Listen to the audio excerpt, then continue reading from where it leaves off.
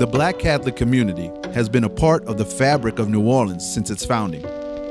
Despite the horrors of slavery, the community grew, even when the Catholic leaders in the area failed to stand up for them.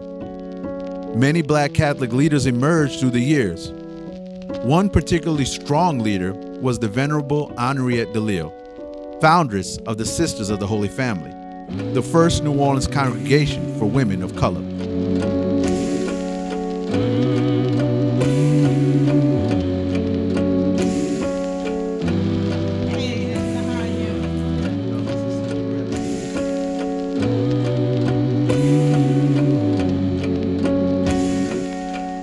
Well, Henriette Delille was born in New Orleans during the time of slavery.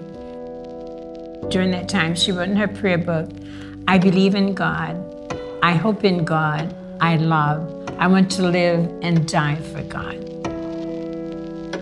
Mother Henriette Delille was born and raised in the French Quarter as a well off Catholic, free woman of color.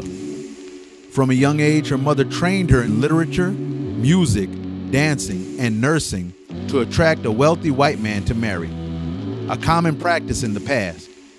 Because of her Catholic upbringing, however, she resisted that life. Henriette and her friends wanted to become religious, but at the time it was not legal for whites and blacks to live together. The church at first couldn't even feel like there was going to be black people being religious, but then the bishop helped them out. In 1842, she founded the Sisters of the Holy Family. Henriette Delille had a passion for the sick and the elderly. She began the old folks' home with four ladies that lived in the house with them. Today, we have LaFon Nursing Facility, which is now known as the oldest continuously Catholic operating nursing facility in the United States. When Henriette is canonized, she will be the first native born African American to become a saint.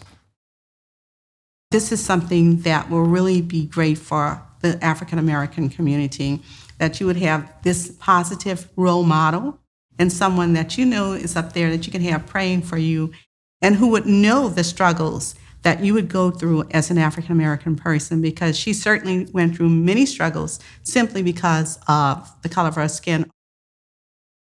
I've always understood, uh, being an African American female, that I had two things that were a strike against me because of the fact that first I was a female and the second I was African American.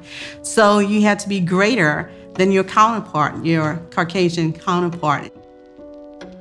The fact that she became a religious in the Catholic Church, it made me understand, it makes us understand that we are welcome in the Catholic Church and we can be a part of what they would call the hierarchy of the Catholic Church.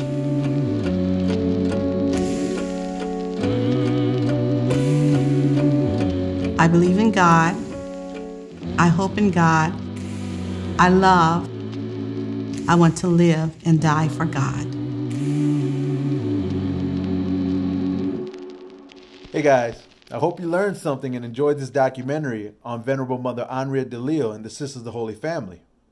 But if you want to go deeper and learn more about Black Catholic spirituality and my hometown of New Orleans, go right here blackfaithmatters.com.